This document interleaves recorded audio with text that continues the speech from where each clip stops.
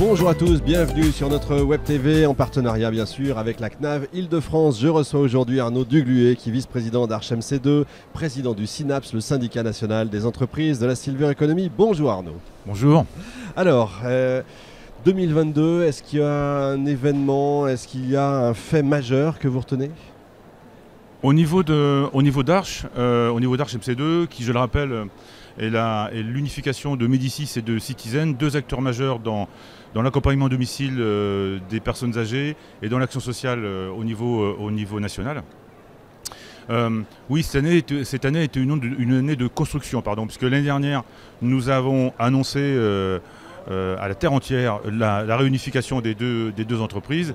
Et cette année est une année de construction avec euh, création de nouvelles gammes et avec euh, l'ancrage de, de la société dans les évolutions, dans les révolutions du secteur, que sont la mobilité et que sont l'interopérabilité des solutions avec le monde extérieur et la communication de, de ces informations-là, ou de ces informations, pardon, aux, aux bénéficiaires, aux clients, mais aussi aux, comment, aux, aux- entre prestataires. Bref, cette année est une année de, de, de, de- mobilité.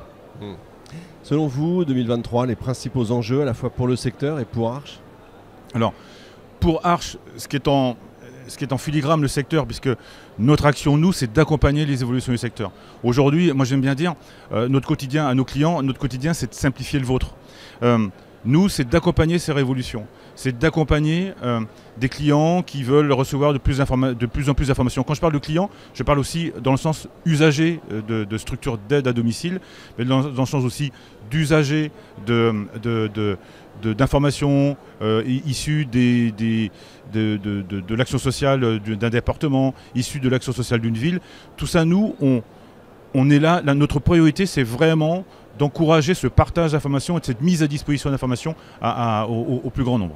et les enjeux pour le secteur en général? Alors pour le secteur, c'est, je, je pense que ce, ce salon en témoigne. Aujourd'hui, le secteur rentre vraiment. je- moi, je trouve que la Silver Eco euh, se bonifie avec le temps. C'est, on a vraiment l'impression d'accompagner le, le continuum de vie. Il y a plus un, un- c'est plus marqué euh, Silver Eco. On, on gère les vieux, on gère les seniors. Euh, non, non, on, on gère des Français dans, dans leur évolution dans l'âge. Et euh, je discutais avec des, des franchisés qui nous disaient bah oui, nous on vient là pour voir les secteurs, pour voir les acteurs de Silver Eco, mais on va aussi au salon de la franchise parce que on, on- on- on doit recruter, parce qu'on doit aussi avoir des nouveaux, parce que le secteur, pour nous, euh, acteurs majeurs euh, en informatique, mais pour aussi la majorité de nos clients, le problème aujourd'hui c'est la main-d'œuvre, c'est le recrutement. Bien sûr. Et beaucoup, donc.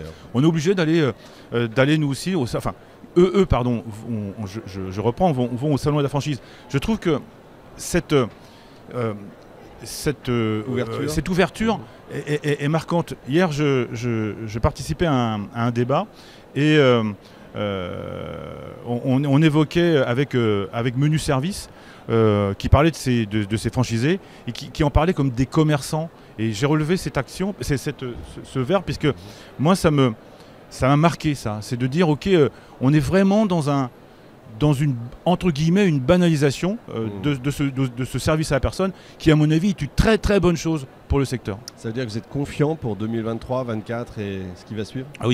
Alors, j'ai- j'ai- de toute manière, la démographie va me donner raison, puisqu'il y aura de plus en plus de personnes âgées, Ça, on est d'accord. Les- les- donc euh, il y a de plus en plus de besoins, mais l'ancrage, l'ancrage des services à la personne dans le quotidien des gens, moi j'aime pas trop le, la, dichotomie qu'on fait régulièrement entre, euh, on vous dit ben oui il y, a les, services dits de confort et les services pour les personnes fragiles, comme s'il y avait euh, euh, des bons services à personne et des mauvais services à personne. Les services de confort, demandez à Madame, à, demander à Monique qui habite ici les Moulineaux et qui doit faire garder ses gamins tous les jours et qui doit prendre une heure et demie de TER pour aller chez Mickey, demandez-lui si, si c'est un service de confort la garde d'enfants.